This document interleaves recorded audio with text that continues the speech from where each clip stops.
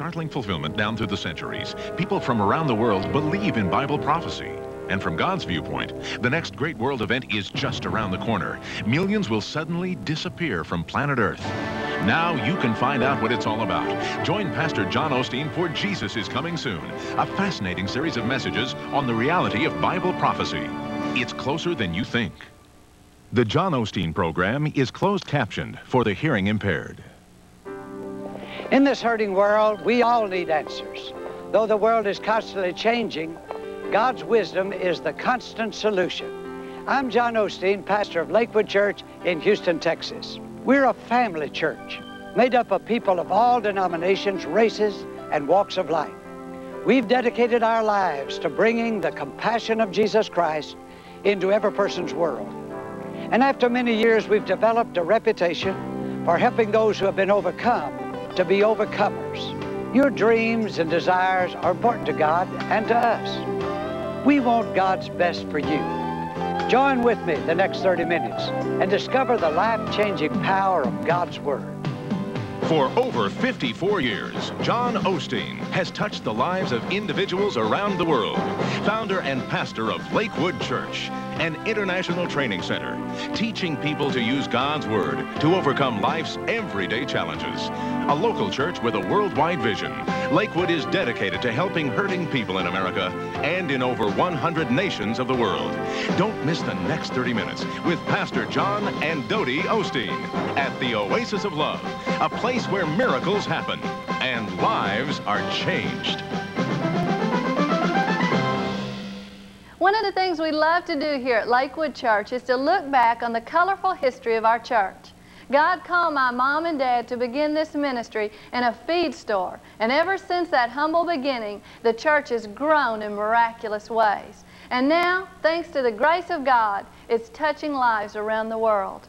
And every once in a while, we like to get together with all the folks that remember those early days and recall the many ways that God has blessed and touched our lives. So recently, my mom and dad and many of their closest friends who were here during those early days met to look at pictures, to reminisce, and to worship and praise God for His goodness. At Lakewood, we enjoy our past because it reminds us that God still works miracles, and He gives us even greater hope for our future. And God wants to work a miracle in your life too. So as you listen to today's message, remember that your life can change as you surrender your future to Him. But right now, let's go into the main sanctuary and join my dad, Pastor John Osteen, here at Lakewood Church, the Oasis of Love.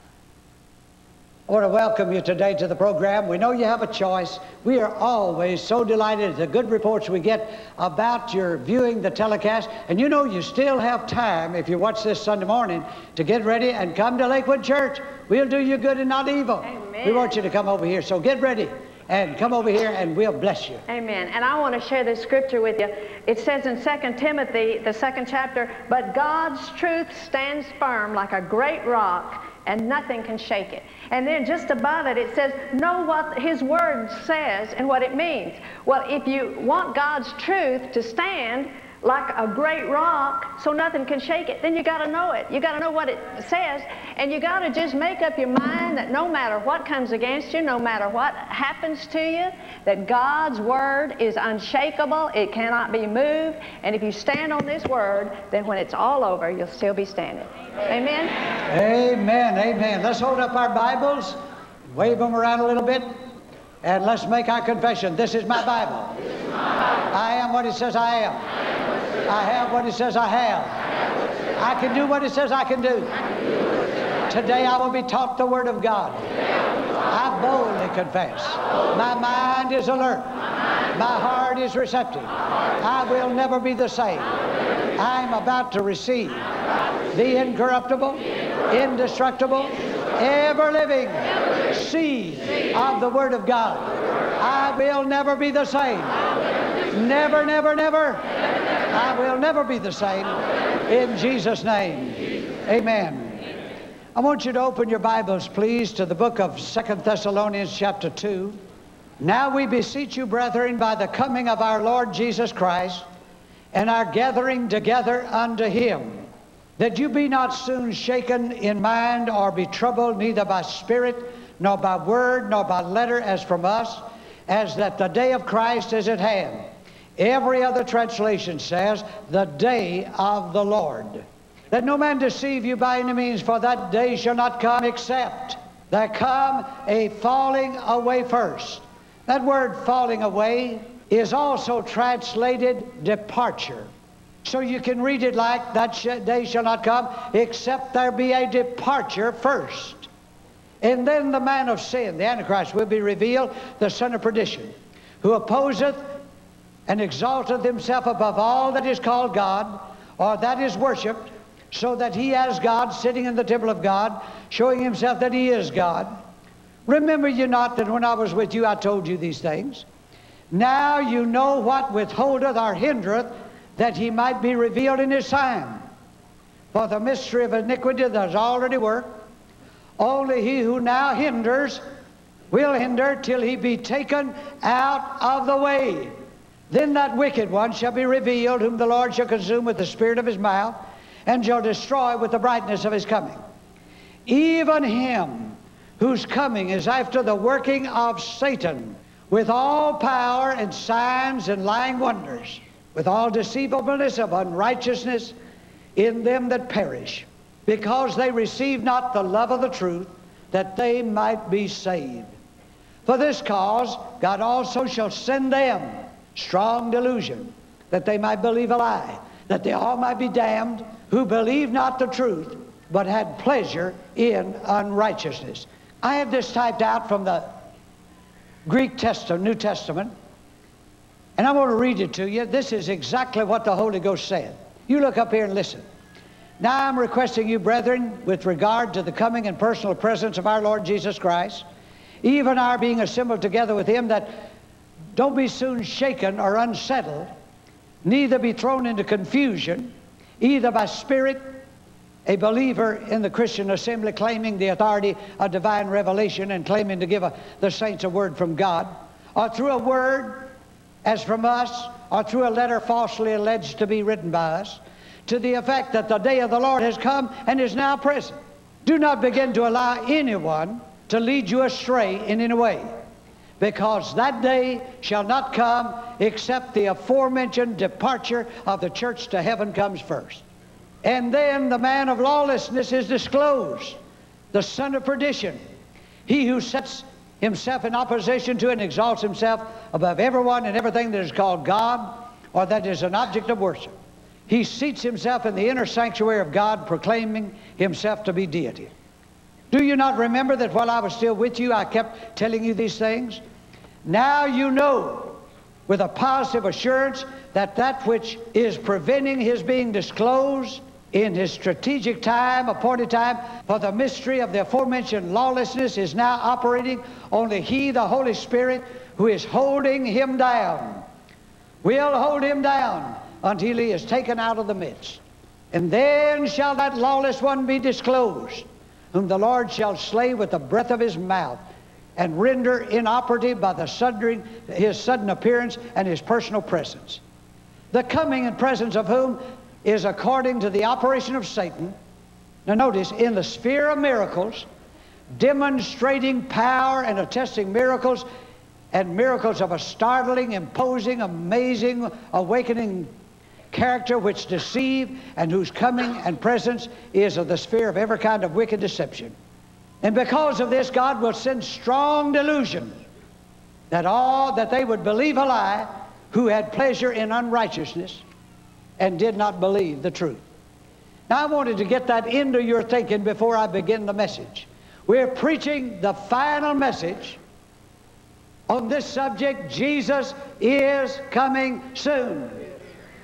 Can I have a better amen? amen? Now, the Bible says that we ought to know the signs of our times. I don't believe the church ought to be in ignorance. It's good to shout and jump and praise the Lord and kick up our heels, but it's good to sit still and learn truth. You not only need inspiration, you need information. And I said, Oh, Jesus, I'm sent in the church as a pastor, as a shepherd. I'm supposed to tell these people what's going to happen in the days ahead. You've got to show me. And I prayed and I sought the Lord, and I'll tell you, He gave me this series of messages. And I believe wherever you are as a member of the church of the Lord Jesus Christ, I believe you've got some good news coming, and if you'll listen, you'll find good news in these messages. Now we need to distinguish, as I've said again and again, between Jesus coming for the church and with the church. The Bible says, Paul said, Behold, I show you a mystery. Now you see, the rapture of the church and the catching away of the church has been a mystery hidden in God from the foundation of the world. Daniel didn't see it, Isaiah didn't see it, Ezekiel didn't see it, and Jesus didn't talk about it very much. He kept that revelation for Paul, uh, the apostle, to give in order that the church might understand the hope that they have. And he said, Behold, I show you a mystery. We shall not all die, but we shall all be changed. Could I have an amen? amen? In a moment, in an atomic second, in the twinkling of an eye, the trumpet shall sound, and we shall be changed. And this corruption must put on incorruption. This mortal will put on immortality. Thank God he's coming back. The Bible says our citizenship is in heaven, from which also we look for the Lord Jesus Christ, who shall change our vile bodies, that they may be fashioned like unto his own glorious body by the working whereby he is able even to subdue all things unto himself.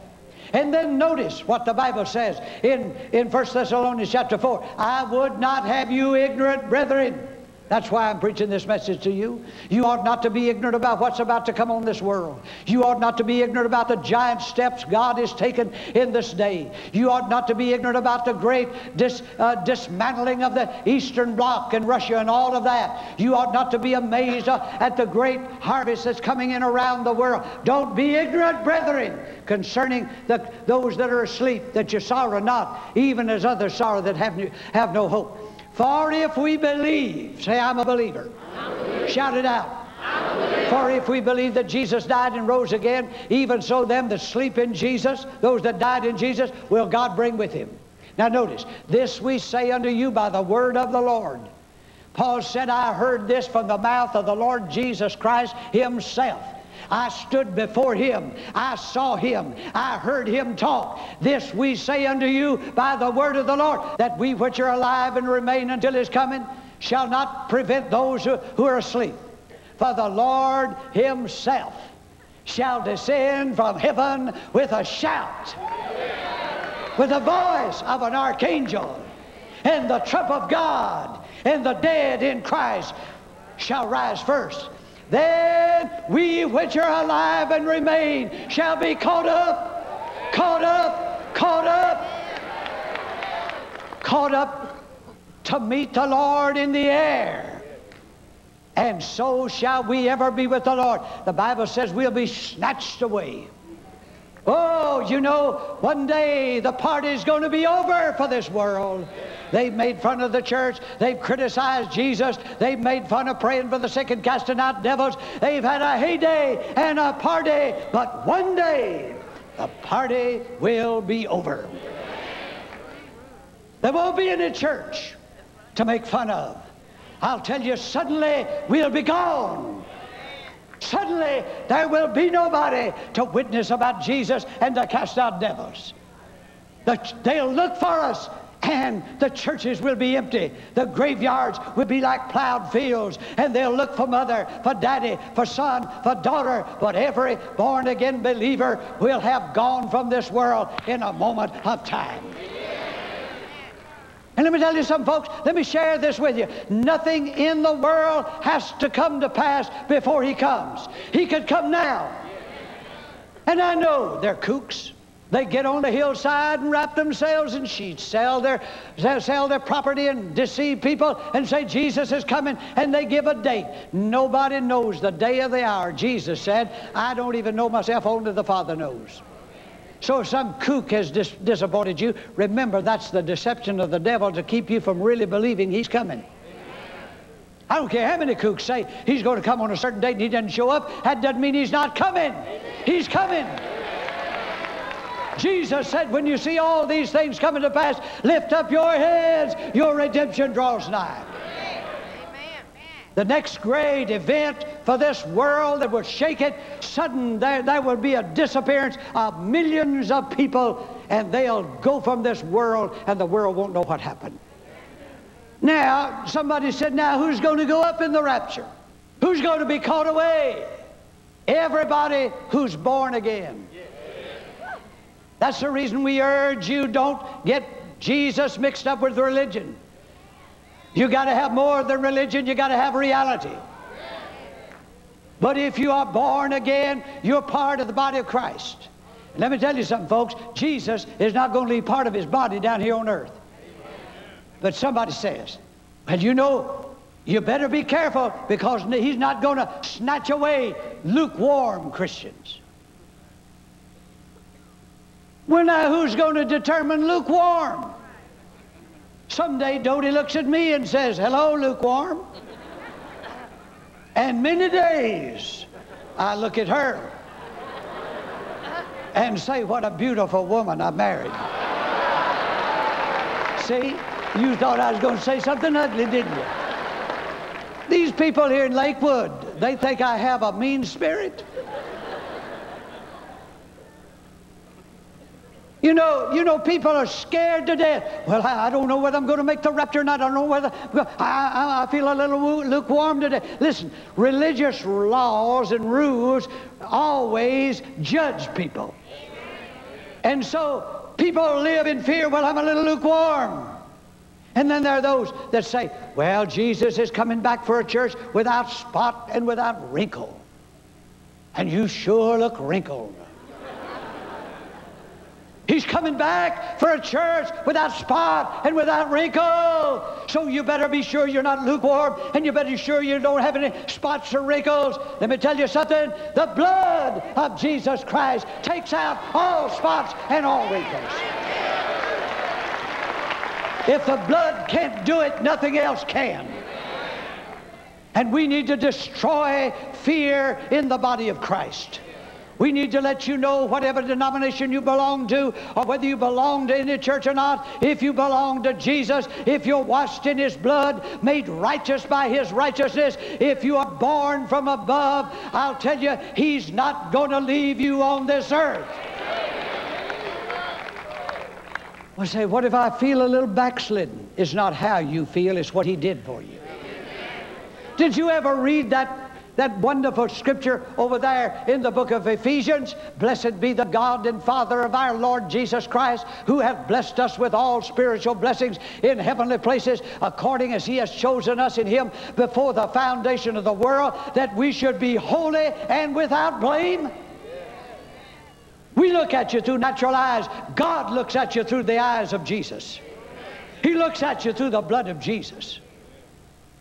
And every wrinkle and every spot has been destroyed because you're not going to go to heaven about, uh, because you're so goody goody on the outside. You're going to go to heaven because you've been made new on the inside. The Bible says he was made sin for us that we might be made the righteousness of God in him. The inner man has been made righteous in God's righteousness. And that's the only reason Somebody said, told me one day, said, if you live for Jesus for 65 years, faithfully to Jesus, and then you sin one day and you didn't get that out of your system and Jesus came, you'd be left. I thought, what insane asylum did he go to for seminary? God is a God of mercy. Listen to me, television audience. When Jesus comes back, there'll be mature Christians on the earth. There'll be immature Christians on the earth. There'll be carnal Christians on the earth. There'll be baby Christians on the earth. There'll be people who have been made have made mistakes galore, but they love Jesus. And we belong to his body. We're bone of his bone and flesh of his flesh. And when he comes back to get the church, he's coming back for his body. Hallelujah. And you know that's what this is all about here somebody had circulated word that Jesus has come and these Thessalonians had been left. Oh, the day of the Lord's come. The wrath of God is upon us. The book of Revelation is going to be poured out now upon us, and we're left. We're left. We've been left in the rapture. Jesus. And Paul said, Now I want to straighten all that out. And he said, That day shall not come, notice, until there comes a departure. The day of the Lord is when God sends his judgment upon the earth. If you want to read about it, read in the book of Revelation. Awful, terrible, terrible things that are going to be poured out on this earth. The judgment of God will fall on this earth. I'm not happy about that, but it's the truth. But you see, during that time, the man of sin, the Antichrist, is going to rise. And the Bible says he's the son of perdition. He sets himself up as God. And notice, now I want you to listen to this. He has tremendous earth shaking signs, wonders, and miracles. And the whole world is deceived by that. Listen to me. The world has made fun of miracles in our day. The world has criticized us for saying people got healed today. They've made fun of signs and wonders and miracles from the hands of Jesus and laughed us to scorn. But one day, when the church here leaves this world, that man of sin will perform signs and wonders and miracles, and they will believe his signs, and they will believe his miracles, and they will perish.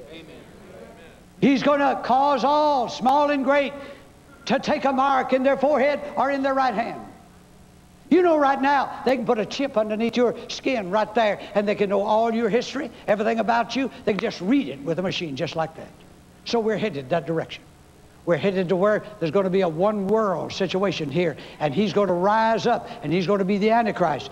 But I'll tell you, the Bible says before he can be identified and rise up, the church has got to depart. Now, the worldly church will still be here. Oh, that bunch that says everybody's going to be saved. Don't worry about death. Everybody goes to the same place. You may come back as a butterfly. You may come back as a cockroach. You may come back as Aunt Mary. Oh, don't fear death. Everybody's going to be saved. That bunch is going to stay here. They're going to stay here. That Antichrist will rise and rule. And you'll have to have a mark in your forehead or in your hand in order to buy and sell.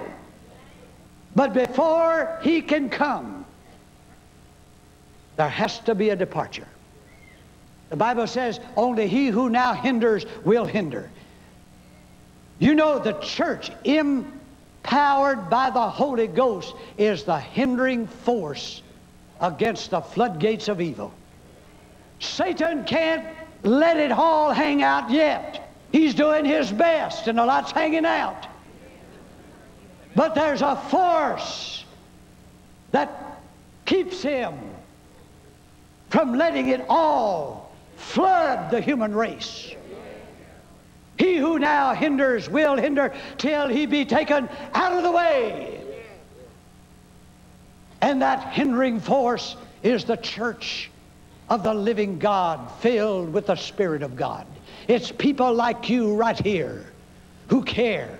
Oh, yes, there's pornography, there's loose living and all kind of strange creatures living together and all of that, and, all of the, uh, the lewdness and all of that, and the looseness in morals. It's there, but there is a restraining force.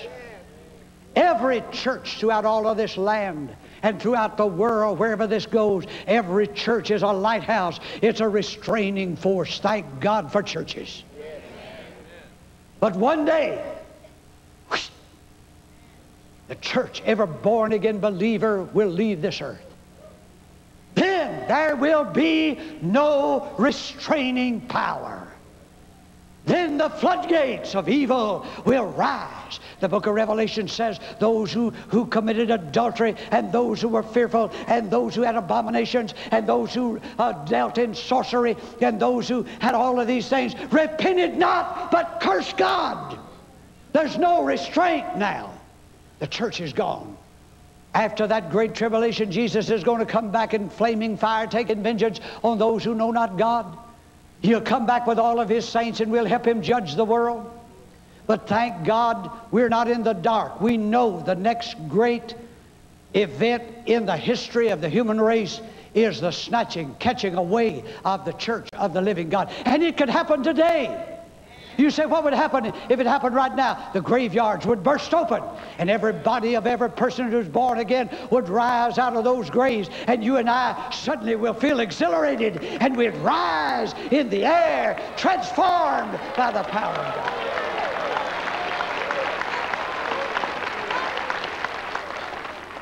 What a day. It's a day when you should be sure that you're born again.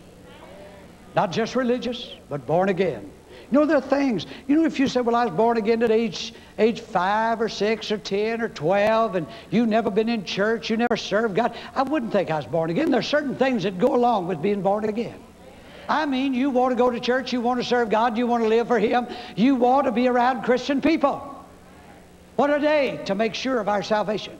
Then what a day to win our sons and daughters and our families to Jesus. What a day to send the gospel around the world. What a day to be sure that our friends know about Jesus. And what a day to straighten up our lives, to be able to give a good report when Jesus comes. Now, I don't want you to forget the fact that Jesus is coming soon. You say, well, how can I be born again? Pray this prayer. Say, oh God, I know I'm a sinner. Oh God, I'm tired of this way of life. Oh God, I want your son Jesus who died for me to come into my heart. Jesus, I believe you're the Son of God. God raised you from the dead. You're the only Savior. Come into my heart, Lord Jesus. Be my Lord. Be my Savior. I want to be ready to live. I want to be ready to die. Thank you, Jesus. Thank you, Jesus. You are my Lord. I'll not be ashamed of you. I'll tell about it wherever I go.